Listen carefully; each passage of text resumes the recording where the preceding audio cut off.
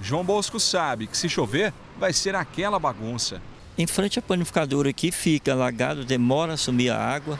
É que a boca de lobo que fica em frente à padaria dele tá desse jeito, entupida. E não só ela, a que fica ao lado também.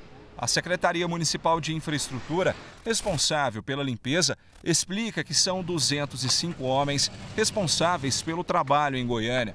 E não é fácil, são mais de 300 mil bocas de lobo. E a população não colabora. Acontece muitas vezes a gente limpar. Os servidores limpam as bocas de lobo pela manhã, à tarde passam, já estão cheias de lixo descartada por moradores que não têm a consciência. Com a retomada do período chuvoso, a prefeitura intensificou o trabalho.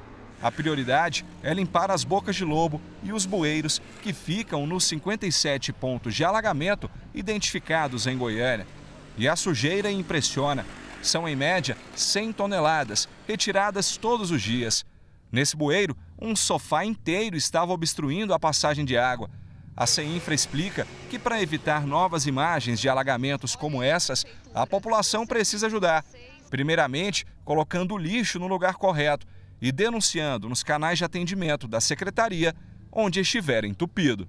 Muitas vezes os nossos servidores encontram cachorro, encontram paralama de moto, até uma granada já foi encontrada, né?